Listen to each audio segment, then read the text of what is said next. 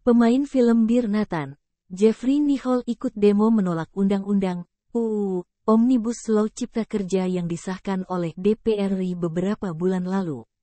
Mengaku demi solidaritas, Jeffrey Nicole menyatu dengan barisan mahasiswa dan masyarakat sipil di depan gedung DPR RI.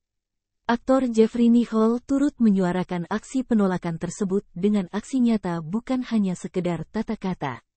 Dalam aksinya, Jeffrey Nicole dan sejumlah mahasiswa terlihat melempar beberapa bangkai tikus sebagai simbol protes terhadap DPR RI. Selama peraturan tersebut masih ada, Jeffrey Nicole mengaku akan terus bersatu dengan mahasiswa untuk melakukan unjuk rasa. Diketahui, Unjuk rasa masyarakat sipil bersama mahasiswa itu digelar di depan gedung DPR RI, Senayan, Jakarta Pusat, Kamis, tanggal 6 April tahun 2023. Jeffrey mengungkapkan alasannya ikut turun ke jalan bersama para mahasiswa.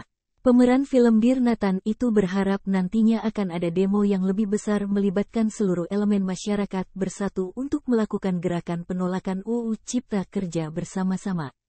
Jeffrey tegas menolak UU Omnibus Law Cipta Kerja disahkan DPR RI. Menurutnya, UU Cipta Kerja memiliki banyak permasalahan. Lebih lanjut, aktor muda Indonesia itu mengaku akan kembali mengikuti aksi lain bersama masyarakat nantinya. Sebelumnya, aksi masyarakat sipil bersama elemen mahasiswa menolak Undang-Undang UU Omnibus Law Cipta Kerja mulai memanas. Berdasarkan pantauan tribunnews.com, masa aksi mulai mendekati pagar bagian tengah gedung DPR RI.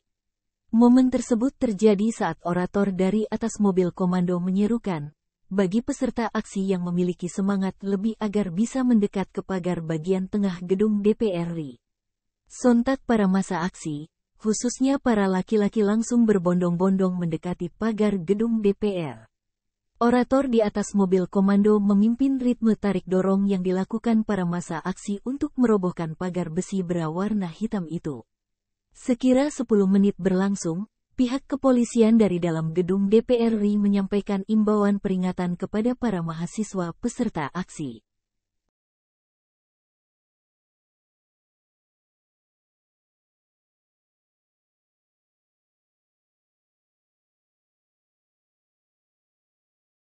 Terima kasih sudah nonton.